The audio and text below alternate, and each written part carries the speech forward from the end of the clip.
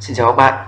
Ngày hôm nay thì tôi sẽ hướng dẫn cho các bạn về cách thức là bỏ dấu gạch chân ở trong Office Word 2016 Thì khi các bạn soạn thảo một cái đoạn văn bản thì các bạn có thể nhìn thấy ở đây xuất hiện những cái ờ, dấu gạch chân màu đỏ hoặc màu xanh như này.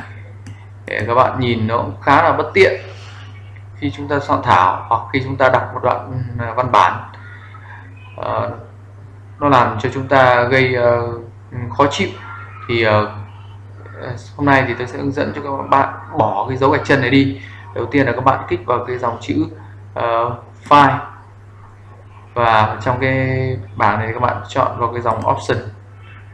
Ở trong cái phần bảng word option như thế này thì các bạn chọn vào cái dòng chữ proofing.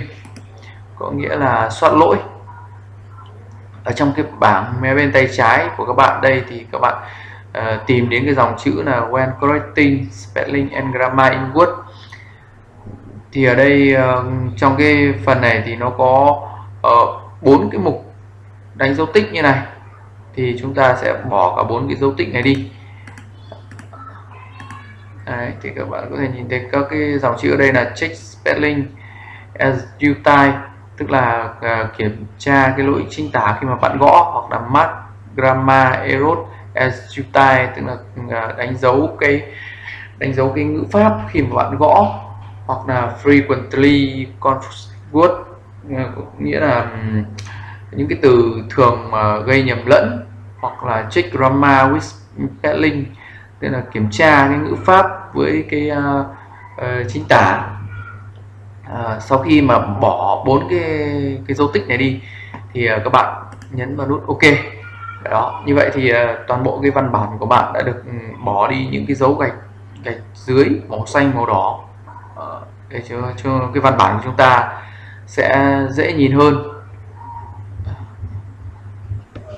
Ok à, thì ừ, trên đây là cái phần hướng dẫn của tôi để hướng dẫn cho các bạn về cách thức bỏ cái uh, uh, dấu gạch dưới để kiểm tra ngữ pháp chính tả uh, trong cái uh, uh, Office Word 2016 thì ờ, tương tự như thế thì đối với Office ờ, 2013 hoặc 2010 hoặc 2007 thì ừ, các cái bước để bỏ cái dấu gạch chân phía bên dưới thì nó cũng tương tự như vậy.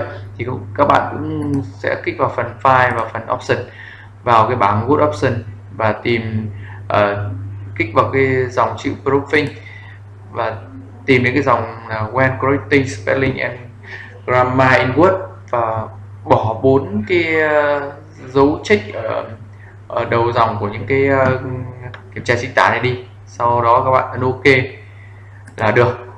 À, cảm ơn các bạn đã theo dõi video. Xin chào và hẹn gặp lại.